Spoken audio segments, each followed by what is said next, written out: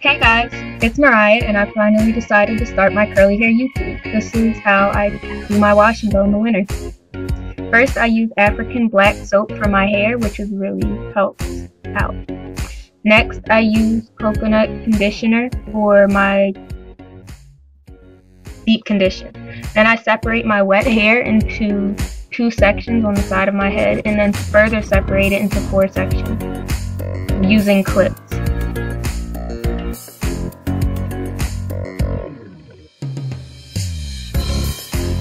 And I got my clips with this curling iron thing, but I just use them for my natural hair or whenever I'm trying to section my hair um, to get it ready for anything.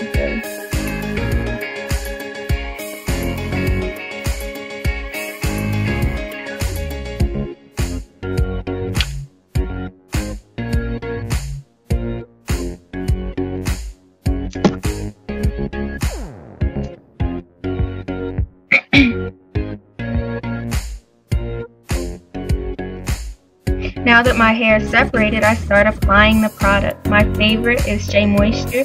It is a deep treatment mask, which I love so much. I just bought it, but I love it. My mom got it for me for Christmas.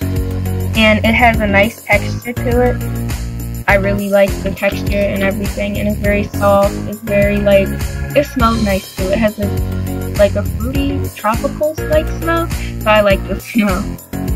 And I just, I apply it from root to, no, from tip of my hair to the root because that helps me more because my ends are usually the driest part of my hair.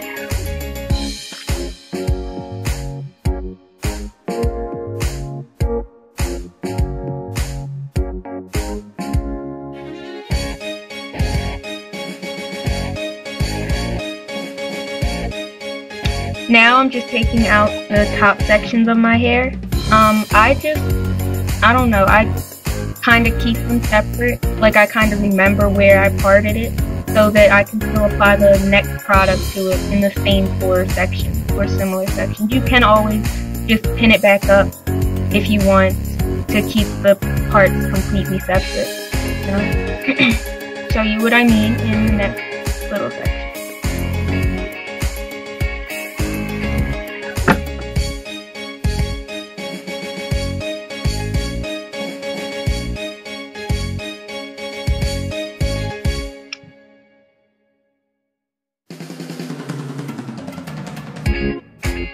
I just rake it through my curls. The next product I use is another Renpure product. It is the gel, and I really love it because it's super light. It's super, um, I don't know, it like makes your hair smell really good because it has coconut in it.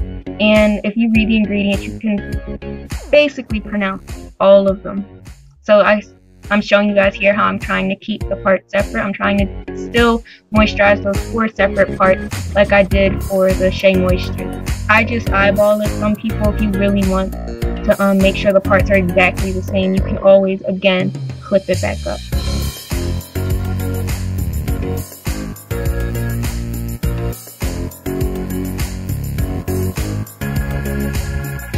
And the gel is going to make your hair hard at first, which is a little weird, but like after it starts to dry up, it'll really lock in the curls. That's why I let, well, that's what I love about it.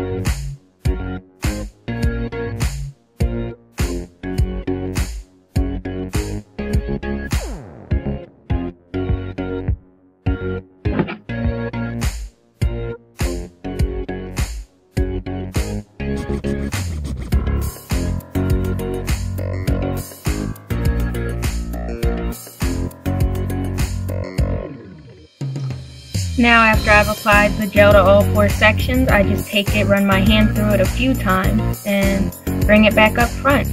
Um, the key after you like really moisturize your hair and everything, don't touch it for a while. Now that my hair is dry, I use my Afro pick to pick out the hair to make it fuller and more voluptuous, I guess. And you, as you can see, the curls dried up very nicely. They're very defined because of the products that I use.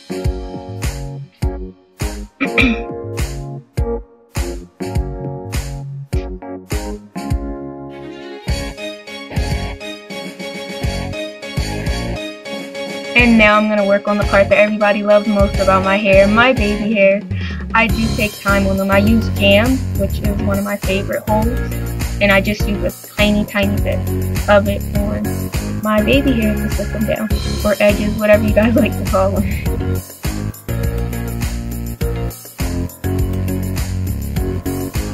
And I just slip it down first.